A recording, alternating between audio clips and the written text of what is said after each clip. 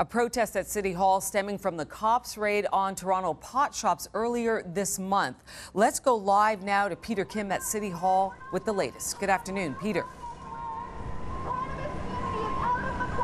Good afternoon, Rosie. They call themselves the Hash Mob. Members of Toronto's cannabis communities and supporters have a look behind me. About 20 to 30 protesters have shown up here outside Old City Hall to protest the 257 charges laid against members of their community. Now, on May 26, police raided 43 dispensaries as part of Project Claudia. 270 kilograms of dried marijuana was confiscated, along with hundreds of kilograms of candies, chocolate bars, and other cannabis related products.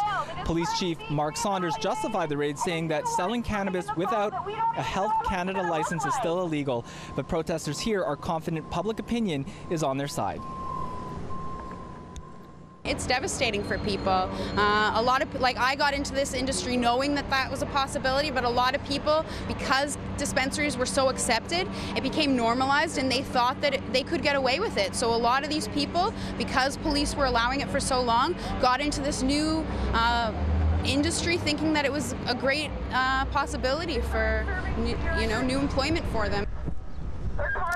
Now, there are 83 known dispensaries in the city of Toronto. The actual number is likely a bit higher than that as they've been cropping up uh, quite rapidly in recent months. Now, the MO for this group and supporters is really to outlast the police and the court proceedings that have begun against them, drag this out as long as possible until such time that the actual rules get uh, put into place by the federal government. Justin Trudeau says that he will introduce the bill by uh, no later than uh, next spring, and then the law would be enacted after that. And when that comes, it's likely that many of the charges could be dropped.